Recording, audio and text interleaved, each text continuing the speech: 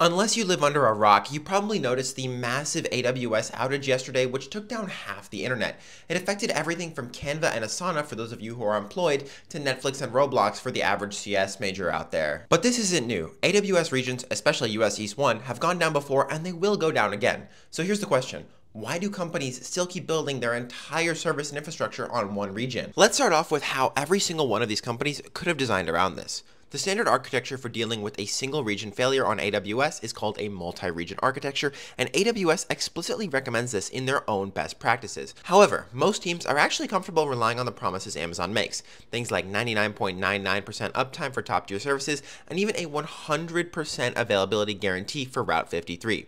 They assume that if AWS itself can go down for an hour a year, the same tolerance will be acceptable for their own customers. So let's talk about the design pattern that's actually built for outages. At a high level, the design is simple. Instead of running everything in a single AWS region, you deploy to two or more, let's say US East 1 and US West 2, and route users to whichever region is healthy. Usually, that's handled by Route 53, AWS's DNS level routing service. You can configure it for latency-based routing, failover routing, or even geolocation-based routing. So if US East 1 goes down, Route 53 should automatically shift traffic over to US West 2. This is pretty elegant and it's usually pretty reliable, but in this outage, even that wasn't enough because the control plane for Route 53 itself, the part responsible for orchestrating these failures, lives primarily in US East 1, which means that when that region failed, even the failover failed. So what do you do when even AWS's recommended architecture doesn't work? Well, the answer is you have to go multi-cloud or hybrid on-prem, designs where you can fail over not just onto another AWS region, but to another provider altogether or even to your own hardware. This is what things like banks, airlines, and government systems do. They can't afford to go down and their entire business depends on never showing an error on a user's page. But before you go over to GCP to create an account, let's take a look at what that actually costs. Let's say your company is making $100 million a year in revenue. You're fully cloud-based, revenue is steady, and every second of uptime matters because users are consistently hitting your API.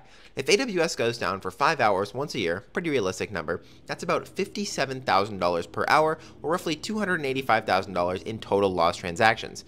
Then we also have to factor in the hidden cost, which is reputation damage, angry customers, refund requests, and bad press, maybe another $700,000 in long-term impact. Altogether, that's around $1 million in total losses from a single outage. Painful, sure, but it's not catastrophic, especially when you compare it to the price tag of building a system that never goes down. So let's compare that million dollar outage to what it actually costs to avoid this outage. Option 1, we deploy to a second AWS region, let's say US West 2, in an active passive setup. Now, we're not doubling our infrastructure costs here because we're not running full traffic in both regions 24-7.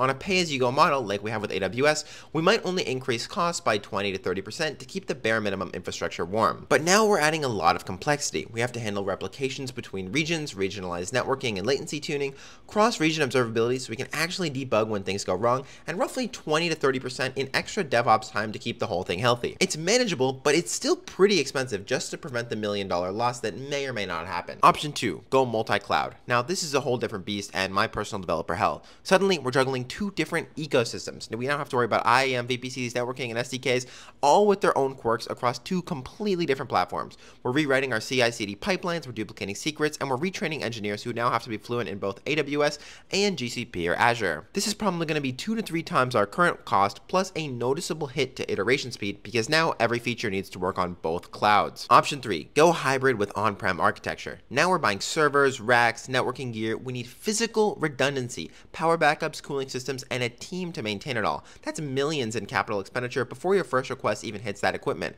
So when you stack it all up, a million dollar outage once a year versus 5 to 10 million just to prevent it, it's pretty clear. For companies where velocity is king and a few hours of downtime is survivable, that outage starts to look like a pretty cheap trade-off to make. And that's why 99% of companies don't invest in any of this. If you want to learn more about practical applied system design, you'll love everything I have here on YouTube. And if you want to hear written word from me, you can check out my newsletter down below. See you guys next time.